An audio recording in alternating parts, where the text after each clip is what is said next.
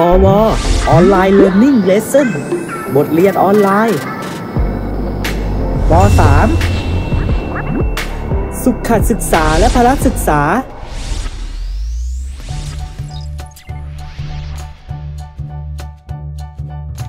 ครอบครัว ความสำคัญของครอบครัว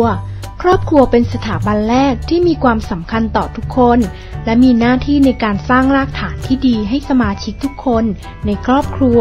ทั้งด้านร่างกายและจิตใจ การดำรงชีวิตในครอบครัวที่อบอุ่น จะทำให้สามารถอยู่ในสังคมไทย ได้อย่างมีความสุขนะครับ